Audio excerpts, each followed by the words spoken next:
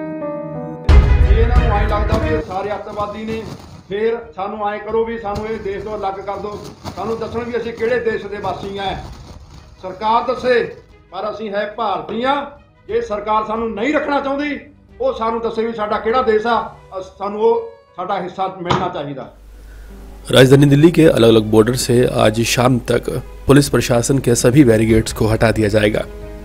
दिल्ली के सिंगू बॉर्डर पर एक अमानवीय घटना सामने आई थी, जिसमें ये देखा गया था कि किस तरह से निहंग सिखों ने एक शख्स जिसका नाम लखबीर था, उसके साथ बर्बरता दिखाई थी और ये कहा था कि उसने धर्म की बेअदबी की है।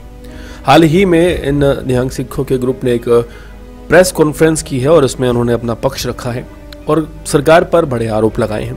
साथ ही साथ ये भी कहा है कि अगर सरकार हमें नहीं रखना चाहती अगर सरकार को हम आतंकी लगते हैं तो सरकार बताए कि हमारा देश कौन सा है और हमें हमारा हिस्सा दे दे।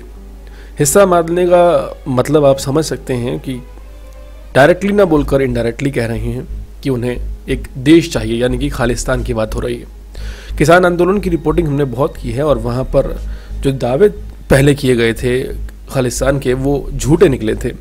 लेकिन इसी बीच कुछ निहंग सिख जो हैं, वो इस तरह की बातें करते नज़र आ रहे हैं।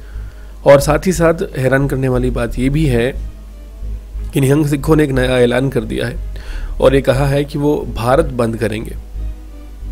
और साथ ही साथ ये भी कहा जा रहा है कि जितनी भी बेअदबियाँ हो रही हैं, वो 2015 के बाद हो रही हैं।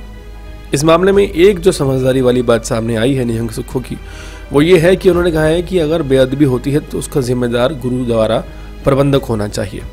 और ये ऑर्डर पास करने जा रहे हैं कि हर गुरुद्वारे में एक पहरेदार होना चाहिए, जो चौबीसों घंटे सातों दिन पहरेदारी करे गुरु ग्रंथ साहब जी महाराज की और ये ध्यान रखे कि कोई भी बेअदबी ना करे।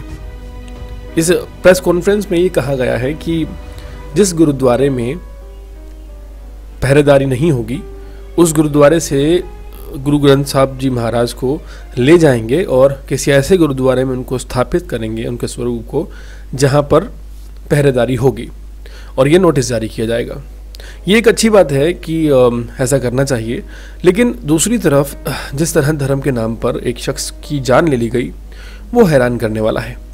इस पूरे मामले में सोचने वाली बात यह है कि किस तरह से पहले किसी की जान ले ली जाती है और फिर कहा जाता है कि सरकार हमें आतंकी ना कहे।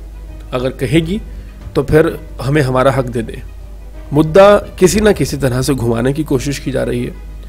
बात जो कहना चाहते हैं, वो डायरेक्टली ना कहकर इनडायरेक्टली कह रहे हैं। कहावत है कि कान इधर से पकड़ो या उधर से पकड़ो, कान तो कान पकड़ना होता है।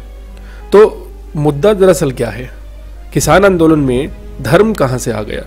और धर्म की अगर बात की जाए तो ज़ाहिर है कि उस मुद्दे को किसान आंदोलन में होना ही नहीं चाहिए।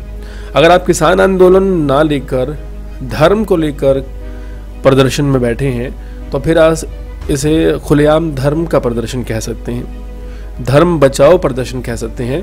वो बेहतर लगेगा। यहाँ दुहाई दी जा रही है कि हम निहंग एक ऐसी फौज हैं जो किसी भी तरह के धर्म ग्रंथ की बेदबी बर्दाश्त नहीं करेंगे, चाहे वो रामायण हो, चाहे वो बाइबल हो, कुरान हो, या फिर गुरु ग्रंथ साहब जी हो। तो सोचने वाली बात है कि अगर आप काम ही धर्म का कर रहे हैं और धर्म के लिए कर रहे हैं तो आप खुलेआम इस बात को स्वीकार क्यों नहीं करते हैं? और किसान आंदोलन में किसान की बात होनी चाहिए या धर्म की बात होनी चाहिए, ये सोचनीय विषय है। पूरे मामले पर क्या राय रहते हैं कमेंट सेक्शन में ज़रूर बताएँ। देश और दुनिया की तमाम खबरों से जुड़े रहने के लिए हमारे चैनल को सब्सक्राइब करें ताकि आप तक पहुँचता रहे हमारा हर लेटेस्ट अपडेट